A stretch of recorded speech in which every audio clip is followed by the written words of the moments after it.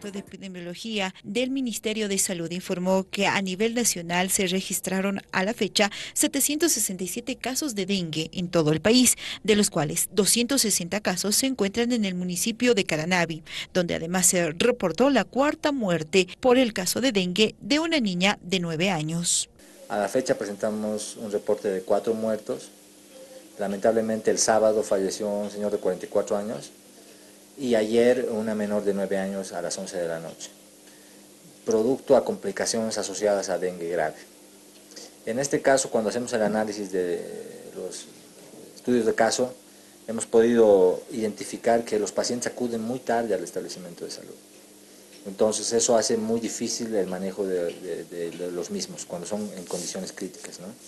Entonces el primer mensaje es que por favor la población en Caranavi y en los municipios aledaños como La Asunta, Palos Blancos, eh, Guanay, etc., ante cualquier síntoma de fiebre alta, dolor de cabeza, eh, dolor muscular eh, o de articulaciones, puede haber dolor abdominal con náuseas o sin náuseas, acudan a los establecimientos de salud y no solo a una farmacia o no. El director de epidemiología del Ministerio de Salud además manifestó que esa cartera de Estado invirtió 160 mil bolivianos para la compra de mosqueteros, además de comprometerse en realizar el fumigado de 400 manzanos, de los cuales se logró culminar con ese trabajo en un 98%. Se ha dividido el mapa en 400 manzanos, ya estamos con 398 hasta el día de ayer.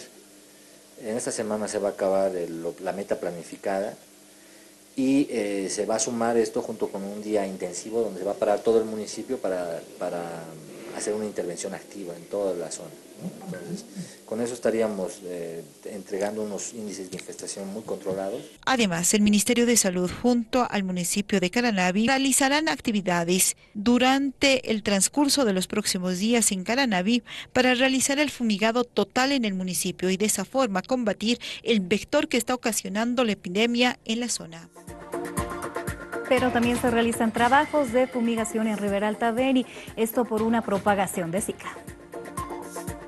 Se bordean los 200 casos confirmados de Zika en Riberalta a causa de la falta de cuidado y limpieza por parte de la población. En Riberalta, a unas tres semanas, eh, tuvimos incremento de aproximadamente 7 a 10 pacientes positivos por laboratorio por semana, ¿no?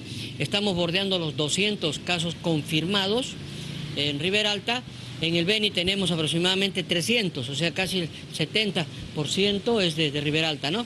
Aquí en Trinidad estábamos con 33 casos confirmados, 22 en Guayaramerín, luego en Magdalena 3, en sí son 10 municipios donde tenemos presencia de casos confirmados por dengue. ¿no? En Riberalta ya, fue un equipo multidisciplinario del Ministerio, del Servicio Departamental de Salud, junto con la coordinación de red para hacer las acciones de, control, en este caso eliminación de inservibles, colocación de rodenticida y la fumigación, ¿no? que es el último, el último paso, digamos, en, en estos casos. ¿no? A su vez, el responsable del área epidemiológica del Servicio Departamental de Salud del Beni manifestó que se tomaron previsiones y se cuenta con el insecticida suficiente. La gobernación, a través del Servicio Departamental de Salud, ha, ha previsto, ¿no? Se cuenta con el insecticida, si en algún momento se va a requerir acciones este, más intensas de fumigación, se las va a hacer. Se está fumigando en algunos sectores de acuerdo a la, a la casuística, a los índices de, de infestación, a la cantidad de casos. Sí, se está trabajando.